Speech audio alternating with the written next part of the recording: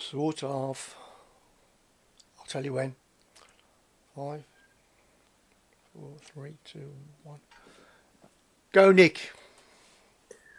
Well, ladies and gents, sorry about the little bit of a delay we had there. We had some technical issues, all down to Mrs. Brown. He's got one job and he can't do it right any week that we bring him. I can't believe it. Okay, so welcome to the Talk, and Talk Show. It is, of course, Monday night. You're here with me, myself, and, of course, Paul Dipkiss.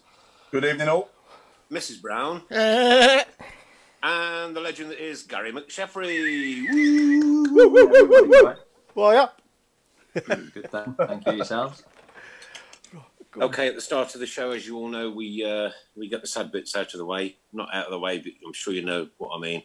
And um, this week, want to pay respects to uh, Dean Smith.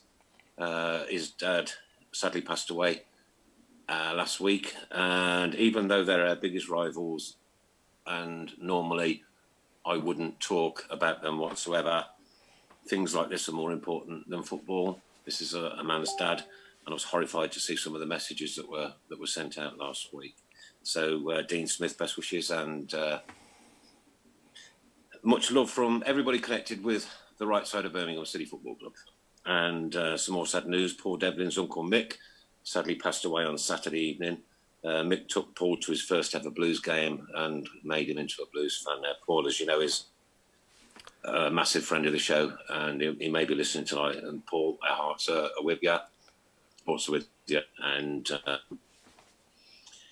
I don't know. We have no words, mate. We're sorry. No, that's right. Awful, awful, awful. Yeah.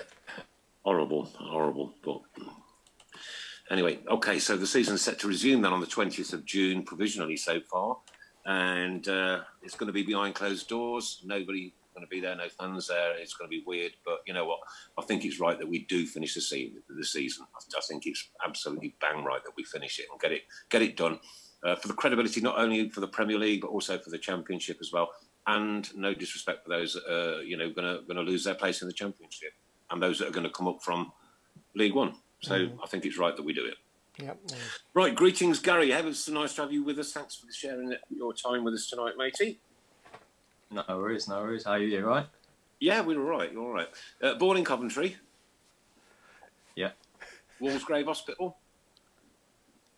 Yeah, correct. Yeah. Uh, see, Yeah. man of knowledge. Man of knowledge. Man of knowledge.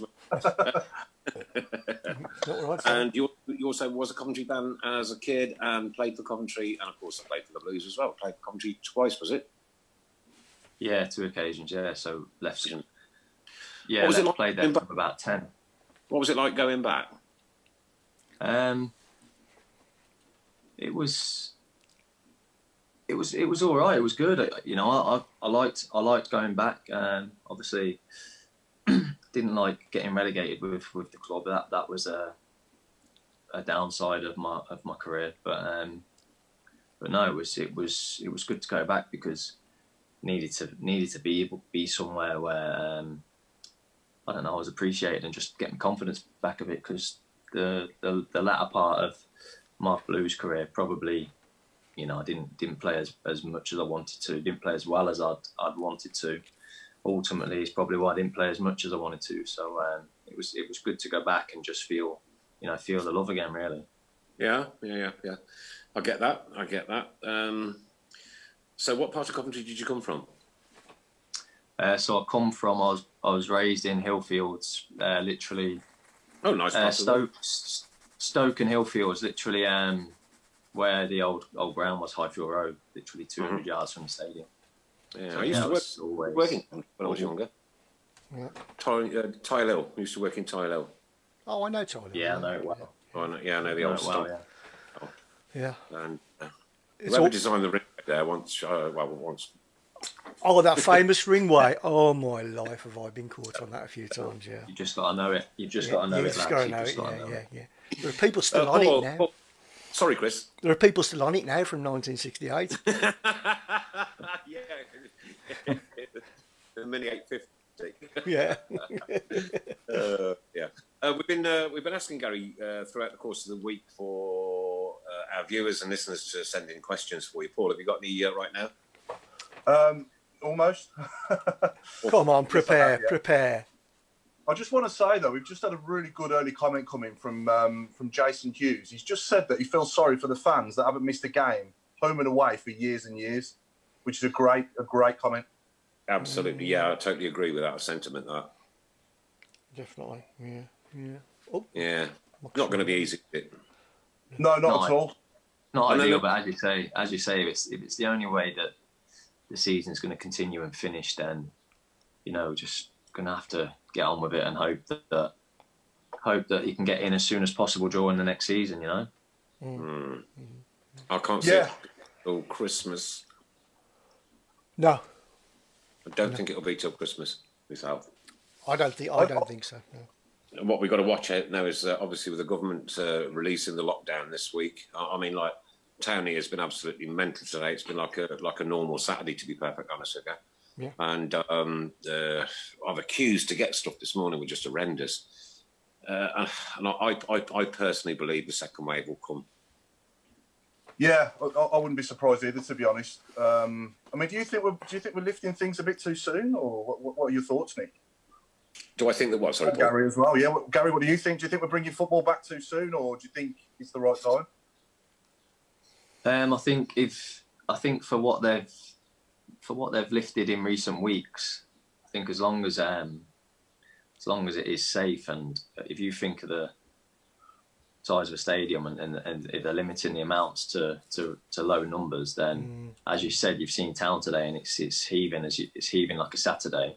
Yeah, Mm. You know, apart from as long as the players are tested regularly and have no symptoms, and you know, I think that they're obviously going to be the closest to each other out on the pitch. You know, in, in, in the whole whole stadium, so it's probably not going to be as as dangerous as walking into Tesco. You know what I mean? Hopefully. No, no, no. I mean, it is it is pretty awful to watch. I mean, have you seen any German football at all? It's been terrible to watch. I've watched a few, yeah. It's I've watched yeah. a few games, yeah. I mean, Not one. I mean, but what they do, what they have been saying though, is the the actual ball, the ball, the ball being in play has been longer. yeah. Um, sorry, I'm getting a, I'm getting a FaceTime here. Oh, I you don't know gone. what- What about- You're back. You're back. um, yeah, what was I saying? Yeah, the ball's been in play much longer. You know, because obviously you've not got ball going into the into the fans. You've not got people play acting for the fans. So No, they've said that, they're, they're, that it's probably average an extra 10, 15 minutes of actual tight ball play on the pitch. So the lads, the lads are probably going to feel it in terms of fitness. You know, getting themselves back to back to the level, and it's going to be good that that it's. I think it's good that there's a couple of extra subs, isn't there, you know, to get everyone up to speed, It's Yeah. been so you can rotate the squad. training ground. It was just all smiles everywhere. Hmm. Yeah, yeah. I mean, it must be great for the lads to be back out there and amongst each other again. You know, even though it is at a distance and they're only training in small groups. You know, it must be great for them to be back. You know, going to training ground to training every day. Yeah, it would be. I mean, I can I can only imagine if it was if I was still playing like then yeah, the the release of just getting out there and having a kick about, you know, even if it's even if it's not really um structured training session of you know what you know you're normally preparing for a certain team or how can you exploit their weaknesses. Uh, listen just to kick about two or three years on a on a decent pitch back like you say with the uh with the balls out and that and, and the goals in front of you, getting a goalkeeper in, it's just Yeah, they must they must be they must be buzzing just to be back and having having a kick about and a run around. yeah, yeah, definitely. We've got some questions from um, some of our fans and some of our viewers as well. Um, so, first question is Stephen Gill has asked, "Who was your favourite footballer growing up?" Favorite footballer growing up, um, when I was when I was really young, when I was really young, I used to love uh, Liverpool as well. It's called, and uh, I used to love um, Robbie Fowler. You know, he was he was top draw. I thought he was unreal. Yeah. And then obviously, then um, Michael Owen bounced bounced on the scene when I was like a teenager as well, and uh, Yeah. he, he was unbelievable. Then at Coventry, it was the likes of um, Peter Ndlovu and Darren Huckerby. Oh yeah, yeah. You know, them two, them two were top draw. Yeah. They were the sort of players I always tried to try to be like. Was you, was you disappointed when he signed for us then, Peter Ndlovu? Because I was surprised we got him. Um, Who's got the ice cream van? Not really. I, I think uh, I think uh, Coventry was always like that. Coventry was always had decent players for a couple of years, and then they, they Yeah. moved on. So Yeah. we, we just just got on with it. Just got on with it. But I, I imagine at the time I was, but got over it. okay. Um, and, and Stuart Morris has said, what was your favourite moment in a blue shirt? Um, favorite moment in a blue shirt. Well, I think probably probably getting a hat trick against Preston at home when it was Yeah. the top of the table clash was good. Yeah. And then I remember, I think I've seen back recently clips on YouTube. I remember that uh, Wolves away game when we won Mm. three two, and Oh, you know beautiful. it was big, big, big game. Uh, Beat Doyle had a great game and goal, and uh, Yeah. Saved the penalty, that, didn't that, he? yeah, that was a, Yeah. saved the pen. That was um that was a good moment. You could you could just see you kind of like forget the emotion of it, but you could see when he saved that pen and the final whistle went. You just we just felt like although we made it difficult for ourselves, felt like that win was the one you know that almost almost got us over the line. Yeah, yeah, yeah. And then the Newcastle one springs to my mind as well. 5 1 away in the Cup. That was special, wasn't it? Yeah, it was a good night, really good night. Um, it was a strange one, strange one because obviously we we kind of like snuck a replay, didn't we? I think yeah. did Seb did did Seb get an equaliser late on in the home game? I think he did. Yeah, he Uh, did. Yeah, yeah, yeah.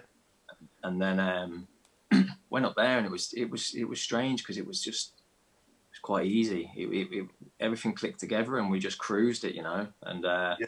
we was we was clinical in our finishing, but it could have been could have been more as well, you know. It could have been Yeah.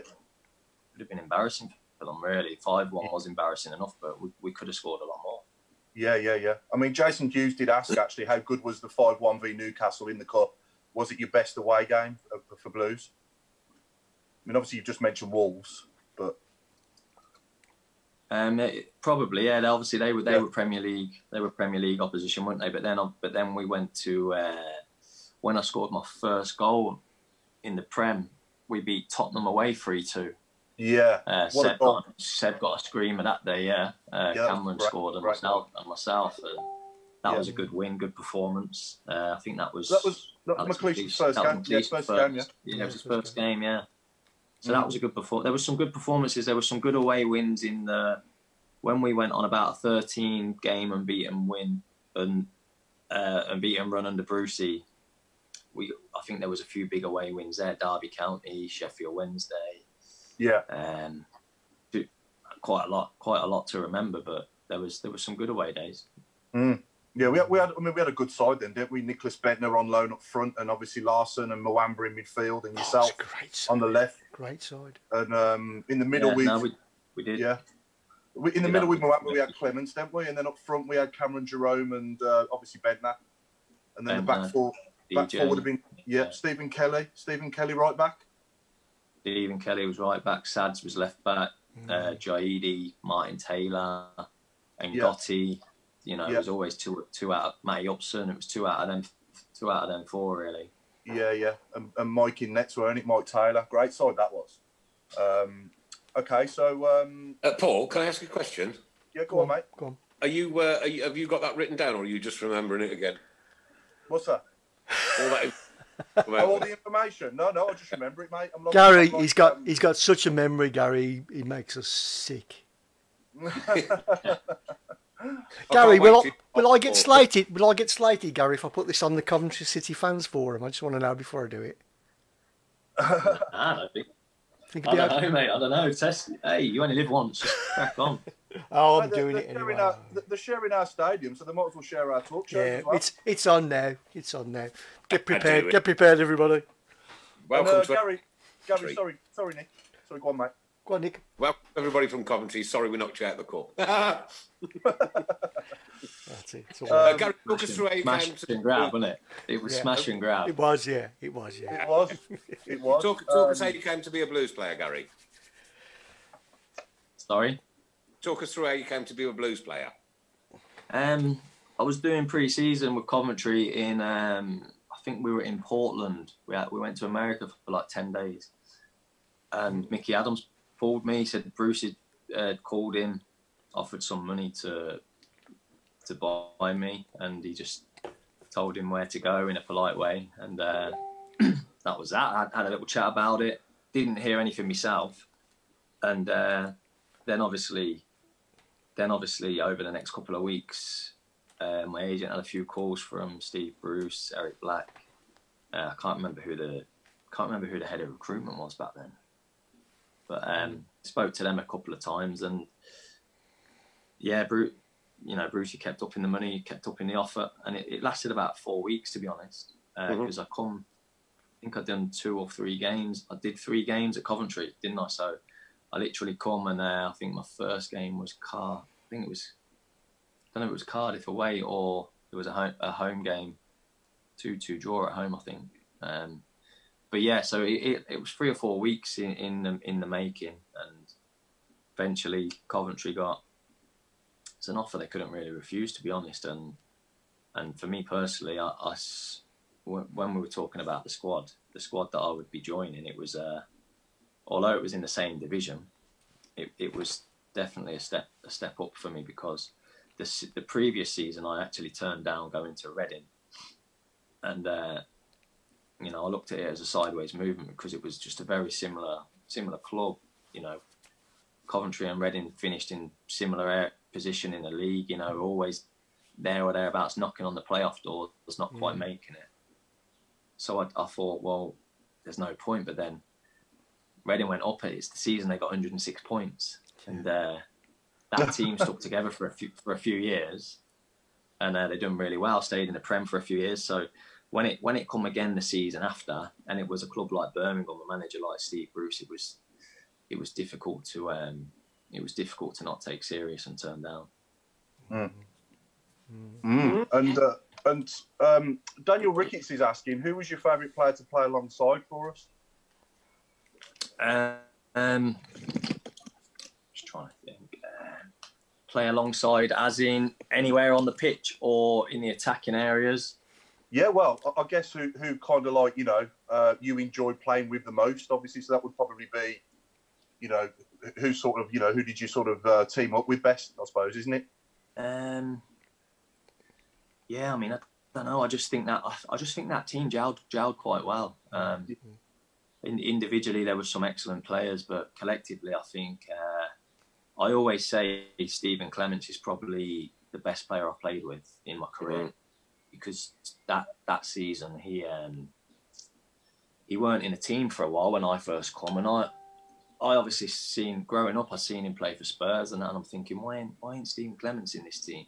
Mm. And uh, I think Bruce had a Bruce had a right, a right pop at him one game after uh, after a League Cup game because Clem Clem got a game. I think it was in a league in a League Cup game uh, when he rested a few out of the league, and uh, they had a they had a they had a proper like go at each other, you know, in the changing room. And uh, mm. Brucey accused him of being a little bit soft pulling out of a challenge or something, and it really got to Clem. Clem's Clem was like, I've never pulled out of a challenge in my life, you know, and I've I, basically I'd run through a brick wall for you, and uh, that was since he got his he got his hair up with that. Honestly, he put him in the team in a league game a few games later, didn't he? It might have been yeah. that Derby away, wouldn't it? Derby away, and he yeah, got the winner, got the goal. nil.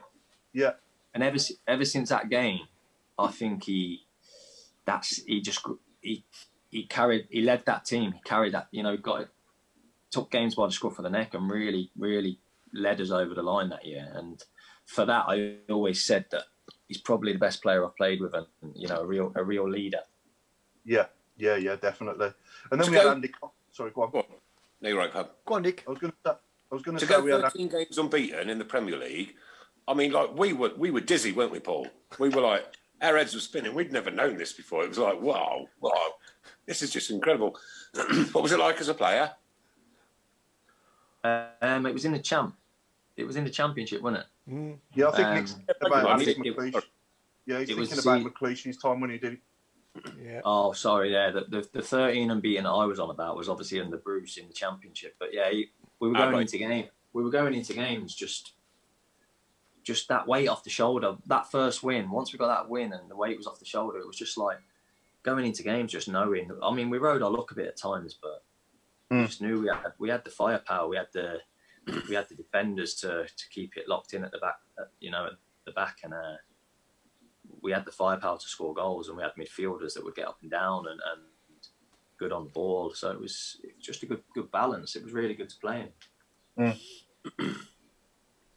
I mean, we draw we draw some similarities with Coventry City, actually. Really, um, not obviously pitch wise and one thing and another like that, but like you know, we we we've been there. We've had the the dizzy heights of the Premier League, and, and we were doing very well. And then all of a sudden, we win that Carling Cup, and three or four weeks later, we're relegated and mm. own a prison. And, and right, it's just been a, it's just been a, for, uh, from a fan's point of view, a murderous sort of ten years, really. Mm. Yeah. Horrible. Yeah. Yeah. Was, I mean, I, I remember, le- I remember leaving, and obviously they won the cup the the season after I left, and I was watching it and playing with all the players. It was, it was, I was so happy for them, but you know, on a personal level, it was hurting a bit. You know, thinking, you know, why why ain't I there with them? But I, it was, it's it's a strange one. It's a strange one how how it has happened and how they've not been knocking on the door at all. You know, in in recent years, because when I went there, they, they had their few years in the Prem where they were they had some top players and good team, and then they come down, went up, come down. So it was, if anything, we were called a yo-yo club, weren't we? At yeah, my time, yeah. we were like a yo-yo club because yeah. too good for the champ.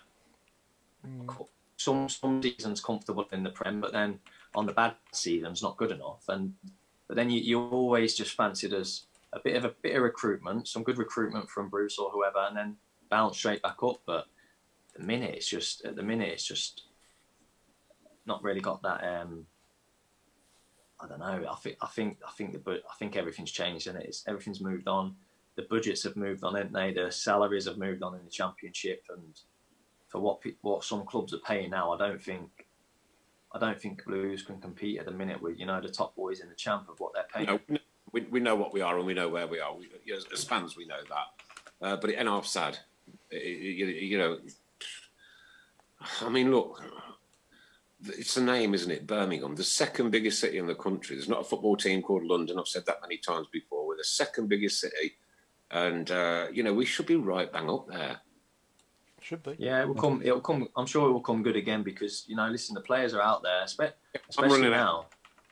Especially now in this um, current climate, you'll probably get you'll probably get a lot of good players that you probably getting for half the price you'd have got them six months ago. Yeah, yeah, yeah, yeah. yeah, yeah some, some, of them are going to be without a club, and they're, they're, the clubs are the clubs are losing out on a lot of revenue, as we know. So they're not going to be in a position to be saying, "Look, I want twenty grand a week." You're gonna have to go. Well, look, we've got we've got we've got ten for you there. Take it or leave it. Mm. I'm sure they, I'm sure there's going to be some good players out there. You know, ready to ready to ready to, to play for Birmingham City. I am blessed, honestly, yeah. because since 1982, hmm. am I allowed to mention that date? since 1982, we've been up, we've been down, we've had cup runs, we've had we've won trophies, three that I've, I've, I've been and seen. One that I stood there with my three sons at against Arsenal when we took the League Cup. And you know what? There's nothing like being a Birmingham City fan. Nothing on this earth. It is. I've got goosebumps, mate. Honestly, I, I just I just love it. Can't wait. I can't wait to get back and see everybody again. Well, no, I must admit, I must admit, one of the things that um, when obviously when I was growing up with Cov, Coventry had a spell of like 20, 25, 20, 30 seasons in the Premier League, in a top yeah, division, yeah, didn't they? Yeah, yeah, absolutely. And, uh, I remember playing. I remember Blues coming to Highfield Road. I think it might have been a might have been a cup game, or it was one of the first seasons Coventry got um, relegated, and um, but we, I didn't grow up playing against each other a lot. Do you know what I mean? I played against the obviously the, the youth teams for Cov for the Cov Academy and stuff, but I didn't really know what I was going into. I'll be honest with you, I was I was a little bit naive, and uh, but once I got into St Andrews and honestly got that buzz of it was like playing in a cauldron. It was unbelievable, and I, I can imagine for the team that we had and the form we were in, it mustn't have been nice for teams to come and play because no. we had them we had them beat we had them beat in the we had them beat in the tunnel. I'm telling you, we we yeah. Mm. you, would you'd, you'd look at them and I'd look at the team that you know I'd I'd always be of our queue and I'd look at our team and I think proper, mm. proper group of men. Do you know what I mean? Proper pride that have played at top level. Some I mean we we had we had players that scored in World Cups in the team, you know, and uh, yeah, yeah. We just, we just we just knew. But like I say, that the atmosphere was that season. The atmosphere was unreal. Do you remember really the Sheffield was. Wednesday game, Gary? The Sheffield Wednesday game that was incredible. When it when we when we more or less cemented. I mean, that was the yeah, actual game yeah. confirmed promotion, wasn't it? Well, it what it was it was, but we couldn't celebrate it because it was the next day. Derby lost at Palace away, didn't they, on, on That's TV? It. That yes. It. So it was it, that's that's when we got promoted, but it was like it was a weird one because we were all at home just like ringing each other, and then I will go out for a few beers, and then the next day we obviously went to the training ground and, and we celebrated as a team. But you know, we it would have been nice to do it out there on the pitch, you know. But Go Seb on, Larsson's goal, Seb Larsson's goal in that game, Gary, was just remember that, yeah. Unreal, mate. Unreal. Um, he got better and better that season. I mean, I remember, I remember the first half of the season being on being on fire really my, myself and getting all the goals and yeah and assist. Seb was always consistent in his performance. He chipped in with a few goals and assists, but God, he finished he finished that he finished that season so strong. You know, yeah, uh, probably yeah. From, probably from about my goals dried up. You know, second half of the season, was still assisting quite a lot, but Seb stepped up, and you know, Seb ended up with about nine or ten goals. Bendtner got ten goals, I think. Cameron Jerome got ten or eleven. DJ Campbell stepped up with you know nine yeah. or ten as well. So Jaidi Jaidi got six or seven. So but but Seb finished that season so so strong, and he's, he's some of his goals and the pace. Yeah. I don't know where he got that. Don't know where he got that pace from for that goal, but it was the quickest I've ever seen it. Yeah, definitely. Yeah, and um, what was your favourite goal for us? Um, oh, Jesus. go back and relive one of them, which one would it be and why? I think I think my I think my favourite in terms of the quality of the goal. I think West Brom at home when we won two 0 and I scored both. Yeah. The sec the second one where I dribbled through and I dinked the keeper yeah. with my right yeah. foot. Um, I think that was probably the probably the best one in terms of quality. But there was a few good free kicks that I enjoyed. West yep. Brom again, couple against good goal against Wolves. Um, yeah. And then I remember him well. Obviously, always I always although it was a pen, I always remember my first goal at, in the Premier League. That was at Tottenham in that win at White Hart Lane. Yeah, yeah. was oh, yeah. Sorry, Nick. Who was that again? Who was what? Your first goal in the Premier League? Uh, it was at Tottenham. It was at Tottenham. Paul Robinson in goal. Hmm. Oh, of course. Yeah. Mm-hmm. Yeah, and a couple, if it's okay, a couple more questions, just a couple of last questions from our viewers. Um, so, Richard Clark is asking, do you wish you were playing now in this era, in today's in today's era? Yeah, I mean, yes. You want to play for as long as you can. It would have been it, it would have been great. Yeah. Um, um, I'd love to. Yeah, I think I think what a time to be a professional footballer now. To be a good young player now. To, I mean, the the money's gone insane, isn't it? The money's, the money's crazy. Gone, the money's yeah. crazy. Uh, yeah. Um, but yeah, I mean, I think every you, you whoever you speak to, every era, every era would probably say, "Bloody hell! If I'd have played in this era, I'd be, I'd be this, I'd be that." So yeah, yeah, yeah, it would it would be it'd be great to, to keep yeah. playing in, in today's game, but you know, I've had, I've had my time, so. Yeah, yeah, else. yeah. Hmm. And finally, a regular viewer of ours, Mark Andrew Adams, has asked, "What?" And also working for the NHS as well, Mark, at the moment, or, or always has done. Um, what memento? What mementos have you kept from your time at Blues? And, and your auntie Mary chats to him about chats to him about football on the bus. Auntie um, um, That's quality. That is pure. yeah. Uh, so momentum's basically yeah. Well, I've got um, that promotion season. I've got the I've got the home shirt, the away shirt, and the medal in the middle. I've got that framed. Uh, yeah. On the wall. So that's that's probably my proudest thing. Um, I've got uh, still got the match ball from the Preston game. Yeah. Somewhere, somewhere the kids probably play with that in the garden. Uh, no, but yeah, just I've, I've got the shirts. I've got each. I've got each each shirt that we had. Each shirt that I wore. Um, I always I always keep one. I always Yeah. try and keep one and uh, give a few away over the years. But, but no, they're they're the, they're the momentums you keep really. Yeah, yeah. He lives in Coventry as well, Mark does. Yeah, Yeah, Mark he- Andrew lives in Coventry as well, doesn't he? Yeah. Yeah, yeah, That's Yes, probably why does, he bumped into your answer. yeah. He is the Coventry one. yeah. The Coventry one. The Coventry one. Free the Coventry one. No, Mark, good work with the NHS, my good friend. You're doing a sterling job. Definitely. Yeah, absolutely. Uh, Yes, Gary, Gary, when, when was your last game playing football ever? And who was it for? ever. Yeah, Um, professional. well, I had a game. Oh, professional. Yes, Yeah. professional. Yeah. My, my last professional game was um, Grimsby. So uh, my last professional club was Grimsby Town. Literally two years ago. Literally two years ago now. So a couple of seasons back. Right. Okay. Okay. So I you took my I went there. we played Grimsby in I think it was January one year. Uh, Grimsby away took took my ex-wife. Well, I, I, right, I was at work, yeah, and uh, so, so I'm go, all right. I'm going to the Blues tomorrow, playing at Grimsby. And uh, one of the lads that I work with, oh, it's a beautiful seaside town. That Julie was going, oh, you want to take your kids and yourself there? And I was like laughing, and she goes, oh yeah, okay, we'll come, we'll come. Never seen such a gale blowing all your life. They sat in the car for two and a half hours while I went to the match. There Oh was yeah, open. yeah. When when, it, when the weather's bad in Grimsby, the weather's bad in There's Grimsby. nothing open whatsoever. Definitely. Yeah, it can get Couple of- windy. Can get windy there. Can't you? couple of questions for me, Gary, if I may. Um, I ask every every one of our guests. I ask these questions. So, each of four years you was with us, wasn't you? Four years. Yeah. Four years. So in that four years, who was the best trainer, the worst trainer, and the best dresser and the worst dresser? Um, best trainer. Um, You can't say yourself. I'd, I'd probably say, I'd probably say when once Stephen Carr come, I think that was my second season, Yeah, probably the third third season maybe. Um, Yeah. yeah, he come in the champ season, didn't he? The, the third season. Oh eight oh Um, oh eight nine season. Yeah, oh eight oh nine Yeah, season. I, I think it was that. Yeah.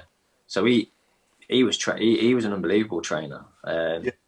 He always seemed to be up against me because like right back against left wing and Yeah, I, I used to, I used to train well, and uh, he used to get the best out of me. But he was so hard. He was so hard to like to beat in anything. yeah. Strength, pace, football. Yeah, he had the lot, mate. He had the lot. he Um, was a great- great player, wasn't he? yes, worst trainer, worst trainer. Um, can't really think. Can't really think. Worst dress, worst dresser was definitely Bendtner though. Nick Nicholas Bendtner. Yeah, Yeah, he used to think it was top top gear, but it was like he used to come in. He used to come in with a juicy tracksuit and UGG boots on, stuff like that. and you know, obviously, obviously, everything's got a bit more diverse now, hasn't it? But back then, it was a little bit. Back then, it, it was a bit suspect, wasn't it? We were like, bloody hell, Nicholas, you got your missus's gear on or what? And, uh, We got to get him on. We he- got to get him on. Listen, he was there. He was.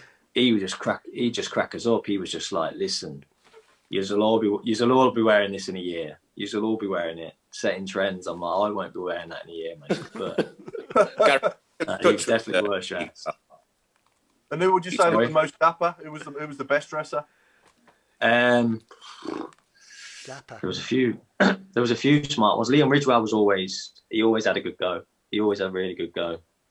He lived basically lived in Harvey Nicks. He did. Yeah, and is there any good stories you can tell us, like uh, any pranks or anything you can tell us on here about? Any any any sort of uh, funny stories or pranks that have gone on? That won't have any repercussions, or get you in, or Um, get you in trouble. Nah, not there's none that there's none that won't get me in trouble. Um, so so I can't really, but but nothing nothing really sticks out to be honest. Nothing sticks out. I can't really can't remember that much. Uh, but no, the ones that would have would stick out would get people in trouble. So Gary, are you still in touch with Stevie Carr? Uh, no, not really, not really. Um, no, not really in touch with with a lot to be honest. I mean, I keep in touch with uh, a few of the lads, uh, Neil Danns, Rowan Yeah. Vine now and again. I always have a little text with Clem now and again. Um, who else? Stuart Parnaby. There's, there's there's a few there's a few that I keep in touch with a little bit, but it's it's it's not as often as we we should and I'd like to, to be honest. Do you know what I mean? But just happens, then everyone everyone kind of moves on and okay. So since and, uh, your football, your professional football career finished, uh, what what is it you do now? So now I'm um, now I'm coaching at Doncaster Rovers. Uh-huh. Um, I, I went in there and I took a I went in there, took a role as assistant 18s coach two summers ago. Um, basically, I was training with them pre-season, keeping fit, doing a little bit of coaching. I weren't listen. I was just just in the door. I was a novice. I didn't really know how to coach, but you know, took took to it well. And um, when when then I when I when I wasn't getting a club and my career was really you know at, at an end, um, I stuck to the coaching and been there since. So now I'm now I'm this last season I've done the before the COVID stopped the season. I was doing the um, under 23s and also still doing doing my 18s role as well. So mixing the two together really. But yeah, mm-hmm. I've been a coach since. So I've just fell on my lap really. Um, didn't really. The transition was quite smooth because I was still doing the day to day routine. Um, did I really want to retire? No, I didn't want to really go out that way, but you know, stuff happens. You just got to get on with it and move on and look forward to the next thing. So, you know, mm. I'm, I'm, I'm enjoying the coaching. I don't think anyone wants to retire, do they? no, no. We're getting close. You're getting close to me, Chris. yes, right. Yeah, yeah. Uh, the question that I've been waiting all night to appear is regarding that Mohican haircut. Okay. uh, who did it? Uh, Rowan Vine did it. Ah, now Mark Andrews said, said, it was him as well. Yeah. Okay. So we got him to blame for yeah. it. Okay. Yeah. Viney was Viney was staying with me for a bit when he come from uh, Luton and let him stay at my house and uh, he was there for months and uh, just got just got bored one night and I just needed a trim so thought right we'll go for it and I let him let him loose on it and you know looking, I look back now, I think, what what was that? But at the time, I thought he'd done a good job. Yeah, I thought it was pretty cool. Yeah, yeah, yeah, yeah. When I think of you playing for Blues, now I always think of that Mohican. Yeah, so there you go. Yeah, yeah. I think I think I had that that Wolves game, didn't I? Yeah. Yeah. Yeah. Yeah. Yeah. You definitely brought good luck there, didn't it? yeah. yeah. what do you make of today's team, Gary? Are you watching much of Blues nowadays? Uh, so I watched I watched them quite a lot uh, last season. Yeah. Obviously, this, um, did, did, quite a few games on Blues TV. Um, yeah. And I thought, I just always thought they were robust, hard to beat, uh, grinded, grinded results out. Yeah. I, I, I always felt they needed more creativity in midfield. Yeah. And uh, I felt the wingers were too inconsistent. Good on mm. their day, good on their day, but like when you know, when you say, look at today's, and I look at our group, and I just talked about, I had 17 goals and Seb Larsson had 12. If you yeah. had that from, if Blues had that from the wing today, they'd be going yeah. for, they'd, they'd be getting sold for 15 million. Yeah. Do you know what I mean? And, and yeah, yeah. I, I, used to look at that as like the norm from a from an attacking midfielder, and yeah, it's almost accepted now that it's acceptable to get like five goals, and I don't. I, it's it's a strange one. I just felt that this year again. I just think they're. I, I think they're good at grinding things out. I think Duke's been. I think Duke's been good since he went to Birmingham. Um, he's yeah. he's carried a lot. I think he's carried a lot of weight on his shoulders. Uh, Definitely really yeah. good last year. Him, him and Adams last year were really good together. Yeah, really good. Um, I think losing Adams was a, a big loss, wasn't it? Um, yeah, but you know, I just look and I think just not got the same sort of personnel that had in had in my my group. You know where I don't I don't know how I don't know how I'm trying to explain this. I just think you need a bit more bit more creativity, a bit more end product. Yeah, yeah. Still think, yeah, I, mean, think... I still think I still think it's a robust group that's hard to beat. Yeah. Definitely, but you you know you you need three or four with good end product and good creativity and can do things off the cuff. You know. Yeah, yeah. I mean, it, the goals have obviously improved since Hogan's come in to partner Jutkiewicz, and it's been much yeah. better since then. So if he'd have started, the, if he'd have signed for us last summer, God knows where we'd be now in the league. I mean, I don't know, but I think we'd be a few places higher, definitely. Yeah, I know, but look at that. That's that's a perfect example, isn't it? For someone to come in and get a goal a game for five games, Yeah, they're, they're on like forty odd grand a week. Do you know what I mean? It's, Yeah, I know. It's, mad, Yeah. it's madness, isn't it? Where Yeah. if you Yeah. if you rec- if you recruit well enough, you'll you'll get the, you'll get good you'll get some decent players that can come and score the goals on in hmm. in the in the wage bracket you're working in. But you've you've got to make sure you recruit well enough. yeah, definitely. Yeah, yeah. Did you play any local derbies? Yeah, so I played in the um, obviously the ones we talked about, West Brom, Wolves, Yeah. etc. But the Villa, played in the Villa one, the five five one away. That wasn't that wasn't a good that wasn't a good day to be fair. Yeah. No, Um, Gary, don't underestimate that, mate. It wasn't a good year. yeah. no, no, it was, it was a it, it was a bad and It was a bad one. And but do you know what? I look back many and I've, that summer. I've seen it. I've seen it a few times. I've seen it a couple of times on um on Sky. You know, like the highlights of derbies of the past and that. And uh, Yeah. I looked at it and I thought that Villa team. That I think that was. I think that was the year they finished like fourth or third, wasn't it? Mm. Yeah. They were. They were. They were. They were good. They were a good team to be fair, and we we just we weren't at it at all. We weren't. At No. It. All right, we'll forget that one then. Craig Craig Courtney's asking, um, what advice would, would you give to Jude Bellingham in terms of moves? Um, I think I think he's done the. I think they've obviously done the right thing in terms of staying, staying, and, and getting getting all the games under his belt. Um, Yeah. It, it, it's going to happen. It's going to happen, lads, and inevitably, it's going to happen. Yeah, When, Absolutely. when, and when and where, who knows? But I think it will happen pretty soon, and it might be a case where they, they might loan him back for for a year or something. You know what I mean? And, and Yeah. see how it goes. But I think he's I think he's decent. I mean, I watched that the win at Barnsley a couple of months back. Yeah. and he was in a poor poor game. He was he was just the outstanding player on the night. You know, he's he's Yeah. what I what I loved what I loved most was his work ethic. Just yeah. Oh yeah. couldn't believe what I was couldn't believe what I was seeing from like sixteen year old Yeah. lad where that that work ethic and putting a shift in like a like a man. Do you know what I mean? And Yeah. yeah, yeah. It was- mature for his it- age. the, the goal the goal come from him. The goal come from him chasing a fifty yard lost cause. You know, keeping Yeah, it play. yeah. Yeah, yeah, and I think that's the most important thing is that he plays, isn't it? Wherever he goes, whether he's loaned back or loaned somewhere else, you know, it's, it's not going to do his progression any good just playing in under 23s, is it, for a couple of years? You know, yeah, I mean, I don't, I've- I don't think he will. I don't think he No. will. I think he's, I think he's done enough to like wherever he goes. I think he's done enough to be taken serious, and he'll be part of a first team squad straight away. And he might not start straight away, depending on what club it is. It's going to be a top club. yeah, I wouldn't just go. I wouldn't just go. I wouldn't just go to like a bottom half prem club. Do you know what I mean? No, if, if no. he was going to, if he was going to leave Okay. Birmingham, I'd, What's your valuation of him then? Um, in the current in the current market, it, it, it's madness, isn't it? It is Yeah. madness, but you, you'd have to.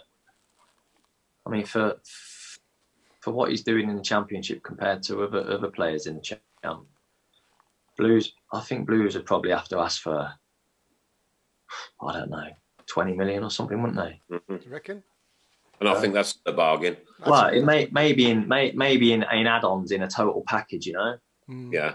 if you look at if you look at the likes of Maddison, he went he went um, he went to Norwich from Coventry for a couple of million, Mm. but then he went from Norwich to Leicester for 23 or something, didn't he? 22, 23. yeah, yeah, Yeah. Uh, crazy money. And I think I think the the market's the mar- well before the COVID, obviously the market had kicked, it jumped again, hadn't it? Mm. Yeah. So I think I think for someone his his, his age playing so consistent, that's a sign that he's going to go to the top. And He's got everything, I hasn't he? He's got, he's got everything to get Yeah. right to the very top and being even even an England legend, let alone a Blues legend. I mean, you know, he's certainly think got for that, every- you, you've you've got to pay the money for that. You've got to pay the money, but club clubs will know now that under the circumstances at the minute, they could probably they could probably get him at a snip, you know, with with big add-ons. Mm-hmm. yeah, yeah, yeah, He's Yeah, last de- off the pitch every game as well, which I respect, right? And he goes to every corner of the game and appreciates the fans because he's one of us. yeah. Yeah, no, it's, it's, you can see he's, you can see he's, I can't. I've played a couple of charity games with his own man. You can see he's been bought. He's been bought well. Do you know what I mean? And he's, he's a Mm. respectful kid, and you know he's he's I, I just hope he has a really good career. Mm. We better get on to your. Um, just, sorry, just, just, sorry, be, just, before, just before we go, to, just before just before we go to your one eleven, um, Gary. Uh, Craig says Gary has mentioned tenacity from the team. He played in the team, had a never say die attitude. What did Bruce say in the dressing room, or was it not needed? Um, I always said, I always said, like Bruce, he, he, was good. He did. He come and done his bits in shape during training before the games and that couple of days. Eric Black took Eric Black took the majority of training. It was good sessions. Eric Black was top draw, a real good coach. But I always say Bruce earned his money at ten to three every week. It was honestly, it was like it would get the head, it would get goosebumps. You know what I mean? It was mm-hmm. it was all about the punters. It was all about making use, making use happy and proud, and you know, go to work happy for the week. You know what I mean? And like I say, that that season under Bruce that I had, it was ten to three. The, the, the two or three minute team talk he had was, it was it was so good, so inspiring. It does make a difference because, like, uh, I mean, I live an hour or so away from the from the ground, yeah, and and that drive back is either one of absolute elation or one of don't speak to me when I get home. yeah. We know which one it's most of. Yeah it's probably a good job I'm half deaf, isn't it? Really? yeah. Hi. one to eleven. Well, off you go.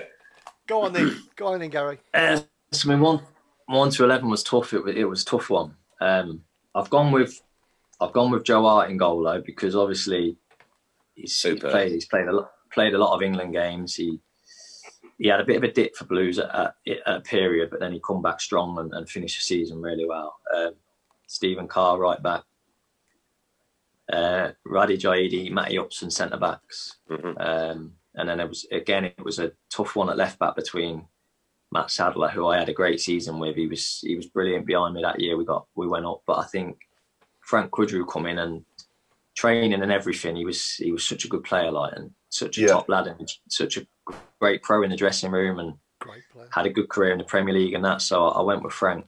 Um, two two centre mids. I've gone like a four two three one. I've gone um, yeah. Stephen Clemence, Stephen Clemence, and Barry Ferguson. Wow, that'd be good. Both quality. I think Barry Ferguson just just didn't give the ball away. Made different, different gravy, weren't he, Barry Ferguson? Yeah, he, he, made. He was always. He was almost like a scrum half. He was always. he was always onto a always onto a loose ball. Yeah. But then, but then always kept that first pass, no matter how, no matter how much pressure he was under, and that's people take that for granted, you know. But uh, yeah, as a being a player, to, to, have that calmness, to have that calmness wherever you're playing, it this it, this was even at Anfield and Old Trafford and that he was he didn't look out of place. He was so calm and kept that ball so simple and made it look easy. Yeah, Stephen Stephen Clemence, obviously, I said he was just just around games. He was box to box. He was reliable. Yeah. His head it hurt and, and just just a good leader. And he chipped in with five or six goals as well. Could score goals from midfield. And um, the three then, the three, I had Seb Larsson on the right. Yeah. I think throughout my whole time there, Seb got better and better, no matter yeah. who the manager was. And then he went yeah. on to have a, he went on to have a cracking international career and uh, yeah. 100 caps, 100 caps. And then he had, he had a really good Premier League career as well. Um, yeah, yeah. Excellent player. On, on the left of the three, I went with uh, Kapo. Mm. Um, he was sometimes he flattered to deceive, but when he turned up, he was like, when he turned up, he was top drawer. And sometimes in training, he was just so laid back and, and bothered, but his left foot was so lethal, you know, and he was such an athlete. He just, he just glided. I don't actually think, think if he actually tried, he, you know, hundred percent, he could have, he could have, he could have played for, for a top, you know, one of the top clubs in England, but yeah, yeah. That goal at Chelsea sticks in my mind.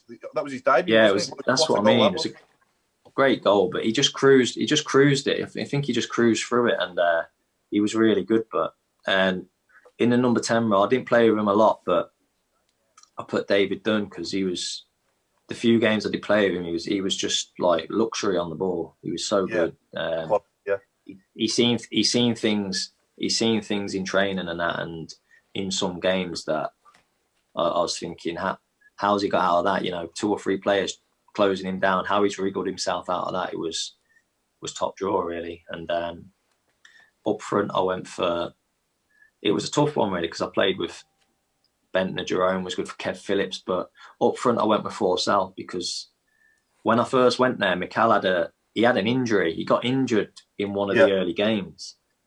Started that season well. I think he scored at Sunderland, scored at Stoke.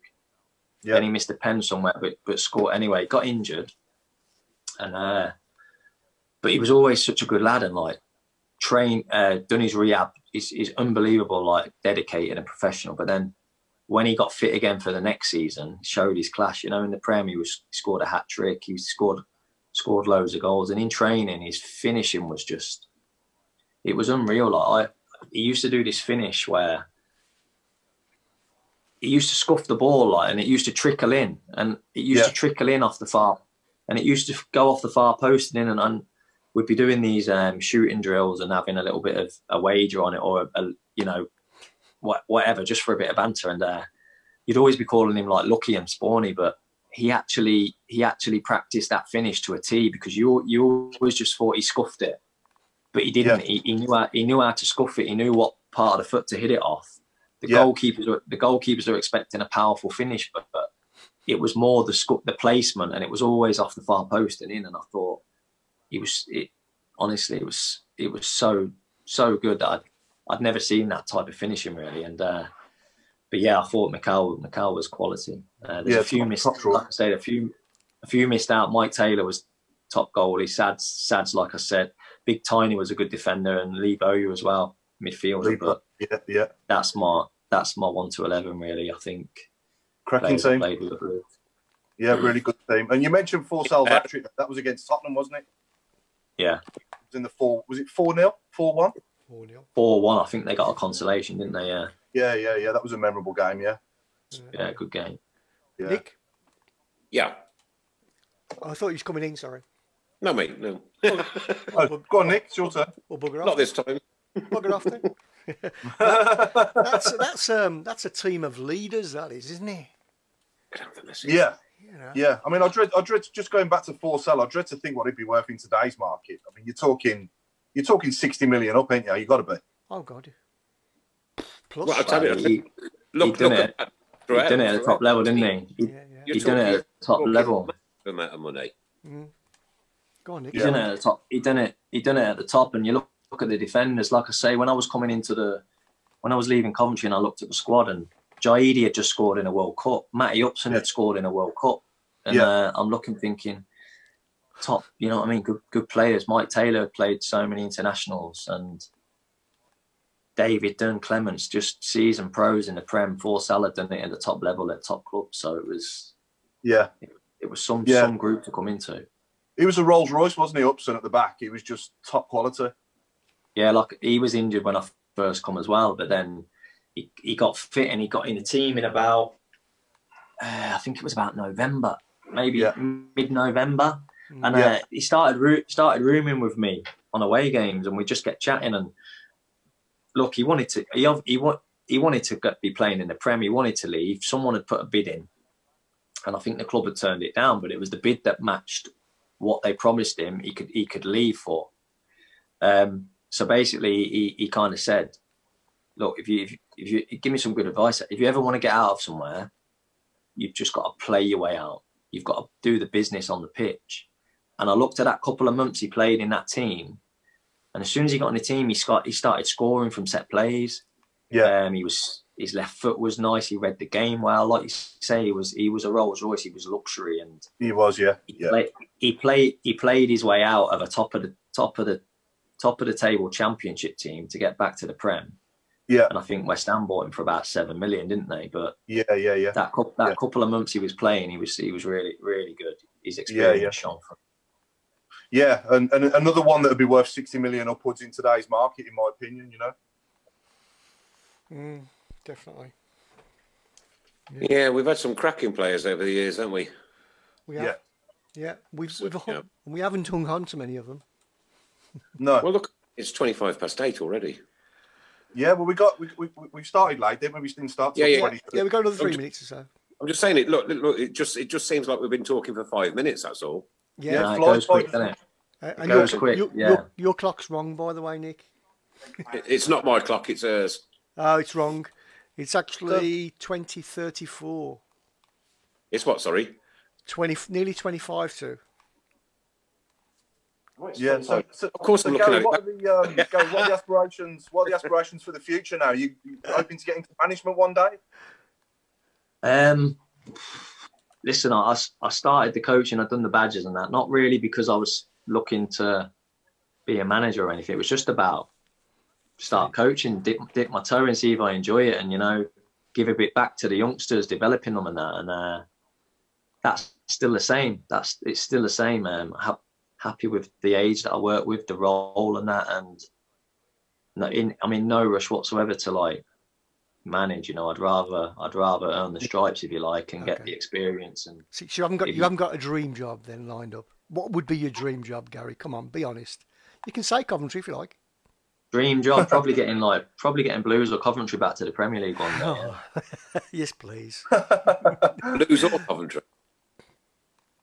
Sorry. Blues or Coventry. Yeah. Either or, yeah. mate. Yeah, either yeah, or. Yeah, yeah, yeah. So, very diplomatic there. You said the right thing. Choose. Choose. Choose. One or the other. Oh, both. He's not going to say anything. don't for him as well tonight. uh, Adam Wilkes, uh, sorry, friend of the show as well, one of our team. He's asking. Um, Adam Wilkes is asking you, did you get a chance to play FIFA? I don't play. Uh, I don't play FIFA. I don't play like computer games like that in years, mate. Honestly, I've since no. too many kids. Too many i kids. Super mate. Mario was my last game I played. Yeah, crikey, the original yeah. one. Yeah, Mario. I, I, I, like, I'm, i must admit, I like a game of FIFA myself. I'm a gamer, um, and I must say, if I was on it at any time in my life as a professional footballer, I probably never put it. I'd still be playing it now. I'd still be playing like FIFA 07 or something if I was you, like you know. it's a bit harsh. Is it really? But it was when it was FIFA 07. You would have been on, wouldn't it, for us? I don't. I, I don't think I was playing it back then, to be honest. But yeah, would have been 07, 08, probably 09, something like that. Yeah. yeah I remember. I'd probably been odd player. Don't you, Chris? Sorry? I remember Subbuteo. yes, I know, yeah, but yeah, knocking the heads off the Villa plot, Villa ones, yeah, that's great, wasn't? Yeah, yeah. that's cool. Um, Mike, Mike Hill says interesting comment from Mark Roberts recently regarding games to behind played behind closed doors will be dull with no home fans. What does Gary think? Um, in in general, or yeah, behind closed doors with no fans. I mean, what, what do you think? Yeah, it's look, it's it's it's not ideal, is it? It's not ideal, but if it's if it's if it's what it's got to take to get things back up and running, just got to roll with it and and hope that hope that it can the fans can get back in as soon as possible. But the only way they're gonna the only way they're gonna get back in is if you dip if you dip your toe in and try it out and and and hopefully as time goes by, it's safer to it's safer to get them back in, and mm. You know, mm. I'm sure I'm sure they'll be chomping at the bit. And I'll tell you what though, it, it does it don't half give you your hunger back, doesn't it? Gives you some hunger back to get you know get into a football ground again and watch football. Oh god. Oh yeah. Yeah, I mean, as, as a fan watching it, the best analogy I came up with after watching the German football was it's like watching Strictly Come Dancing without the music. I've never watched hear, it. Never watched. I, I don't mind it because like you can hear, like I say, the ball's in play more. You technically you can hear the ball slapping about. You know the. Yeah, yeah. You can almost hear. You can hear the players talking. Obviously, you don't know their language, but um, so when it'd be interesting when the English games come back on, on the TV and you can you can hear them. You can hear what's going on. You can hear what's being said and the information being passed about because you know it's it's decent. I can't, I can't wait to just start watching it again. We won't be able to get away with doing this anymore, will they? I hate that. I can't stand that ball. No. That and spitting. Right, I was, I was going to talk to you about spitting. Right, with COVID 19 going on, have there any been any guidelines reference to players uh, doing that kind of action? Because it's the one thing I just detest. I'll be honest with you, I don't know. I mean, I'm sitting here furloughed from Doncaster, so I've been here a couple of months just just uh, just chilling really with family time and um, mm-hmm. not really not really I watched I listen and watch watch the news and watch Sky Sports really as much as used to keep in the loop and uh, got no real. I don't know if they have any guidelines on that, but I'm pretty sure that there won't be any sort of intentional spitting aimed at any in, in the direction of players. I'd hope not, anyway. No, no, no. It's, it's just it's one thing that proper grates me about football. Like you watch it on the TV and then they say pan to play and roof. Oh no, please don't do that. There's no need. I mean, uh, it's, uh, difficult. uh, it is difficult though because your mouth fills up with saliva. yeah. So then, you, if you keep swallowing it, you'll you don't know you'll you'll you'll, you'll be yourself. explode. I understand it a bit more with players, but managers, I've even seen managers spitting as well. And What, why, like- why do they have to spit, managers? I think it. I think it's. I think they must get some sort of like nervous tension, and you know, it might be a. It might be an action that. It might be an action that you tend to do when you you get a bit tensed and nervous. I don't know. Well, Gary, there's, no, there's nobody more chewing tense chewing gum, than nervous. chewing Nobody- chewing gum, aren't they? Or nervous supporters standing watching, right, and we don't spit at each other. That's true. It's my Yeah. pet. Because you ain't got grass. You ain't got grass below you to spit to spit on. We did at Wigan once. Quality. How are we doing for time, Mrs. Brown? We're done. We're about We're done. done. We're Okay, done. there's something that I, didn't, that I didn't read out earlier Go on uh, that I should have done, and I'm very, very, very, very genuinely sorry for this. And this is uh, regarding the story, um, sadly, this week about uh, Christian Mbulu, I think his name was, and uh, uh, the former Millwall and Crewe Alexandra man was found at his house by police this afternoon, and tributes have been pouring in online. The death is not being treated as suspicious after he was discovered at the address in Cottam near Preston in Lancashire. Lancashire police say we were called around 1.30 p.m. today, May the 26th, to an address on Greenfinch Avenue, Cottam, to reports of a sudden death. We attended and sadly found the body of a man aged in his 20s. There are not enough, uh, there, there are thought, there are not thought to be any suspicious circumstances surrounding his death, and a file will be passed to the coroner in due course. Our thoughts are very much with his family and friends at this sad time. Mbulu emerged with Essex side Brentwood Town before spending time at Millwall and Motherwell before joining the Shrimps early this year and Crewe released him in January. He played three times for the League Two side this season. Morecambe tweeted to confirm the news and said everybody at Morecambe FC is deeply saddened to learn of Christian Mbulu's, Mbulu's death and would like to extend our, our deepest sympathies to his family and friends at this very sad time. Millwall also paid tribute and wrote everyone at Millwall Football Club is devastated to learn of the tragic passing of former player Christian Mbulu at the age of just 23. Our hearts go out to his family and friends and immediately uh, uh, at this immensely difficult time. Crewe tweeted horrendous news that our former defender Christian Mbulu has passed away at the age of just 23. No age. Mr. People, we say this every week and we say it every week and we mean it. It's okay not to be okay. Talk to somebody, talk to anybody. You can talk to us, you can talk to each other. We are a family. We're Birmingham City. We stick together. We stick together like glue. And if one of you is feeling down, do not, do not, do not hold it in. Don't hold it in because that's the worst thing you can do. Talk to somebody. It's okay. It's it, it's easy to talk. It's easier to talk than to potentially take your own life. There's awful, awful, awful circumstances at 23 years old. Tragic.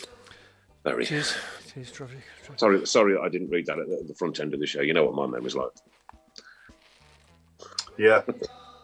Well, this So has been the just one, top with one, our one very great- quick, one very Go quick on, last go on, question. go on. Go on then, quick. Gary, Go on, what was the quick, best- quick. Ga- Ga- Ga- Gary, what was the Gary, Gary, what was the best atmosphere you ever played in? The best atmosphere.